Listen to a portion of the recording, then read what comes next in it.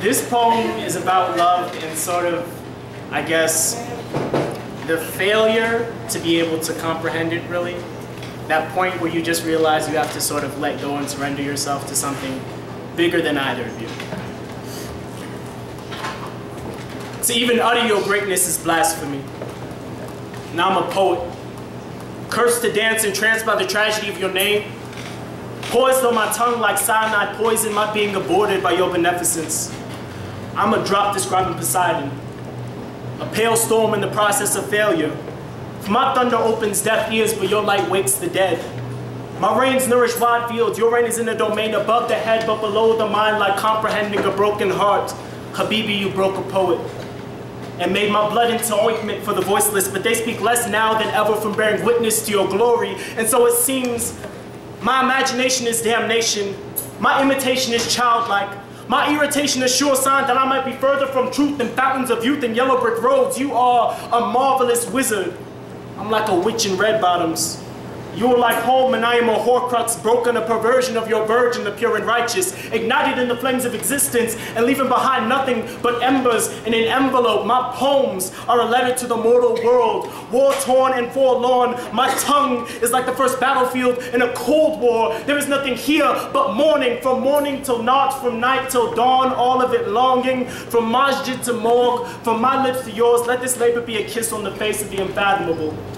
A futile attempt to render the present a present to you who suffuse every moment and transcend every second. This poem is like Bush back in office. A tragedy isn't fitting to describe it. A catastrophe couldn't capture the horror I feel facing what's real. The simple fact that I could never give back a fraction of figment, a fashion of phantom that could hold the weight of your name. Your claim is higher than that of any empire or kingdom. I am dumbstruck before you, beloved.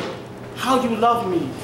It's not a question I can even begin to ask for fear that the answer would render me speechless, never again to sing praise to your name, though I know in my heart of hearts to even utter your greatness is blasphemy. And I'm a poet, cursed to dance and tranced by the tragedy of your name. As it sits on my tongue like rum on the tongue of the drunk, it is the prelude to my annihilation. I'm a shadow describing the night sky. I'm a pebble describing the shoreline. I'm Geppetto, cobbling Pinocchio, or Pocahontas, pondering the traveler where the white folk roam. I have no idea what I've gotten myself into.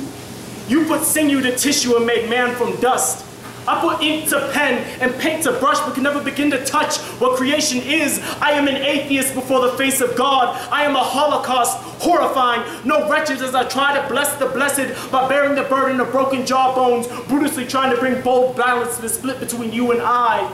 I Adonai, El Shaddai, I am like the rich man before the needle's eye, camel's back laid flat and bare, failing to make myself fitting to pass in your embrace. And I cannot even see why I should try to describe sight to the blind, but still I rise and still I try to even utter your greatness.